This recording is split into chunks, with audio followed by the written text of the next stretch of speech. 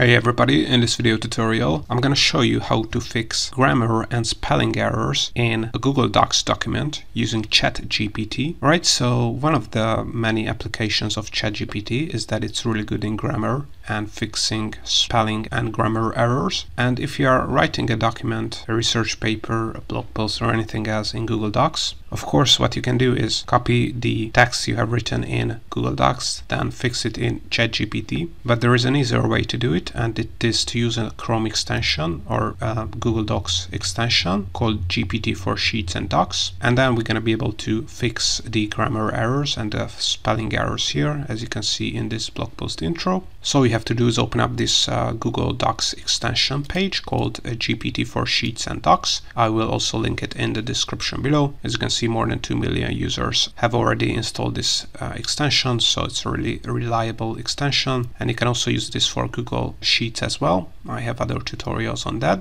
And there are many ways to use this extension, but one of them is to fix spelling and grammar errors in your Google Docs document. So as you can see, as an example, this is a blog post on how to make money with affiliate marketing, and this is a blog post intro, and I have purposefully created a couple of uh, spelling and grammar errors. Of course, you can use Grammarly to fix this, but if you have very long document, it can take a lot of time, and Grammarly is also not perfect. So what you can do is use this Google Docs extension. So once you have installed it, just click on extensions here and select GPT for Sheets and Docs. First, you have to add your ChatGPT API key. If you don't know how to do that, I have another tutorial where I show you how to connect this extension to Google Docs. But basically you have to click set API key here and get your OpenAI API key. So once you have set your OpenAI API key, you're going to be able to click on extension GPT for Sheets and Docs and select launch. And then you can use this extension to summarize text to write custom prompts. So basically write a full blog post with this extension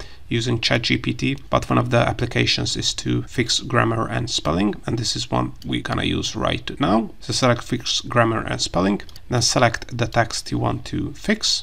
And then all we have to do is click submit here wait a couple of seconds and ChatGPT using this Google Docs extension will completely fix grammar and spelling issues.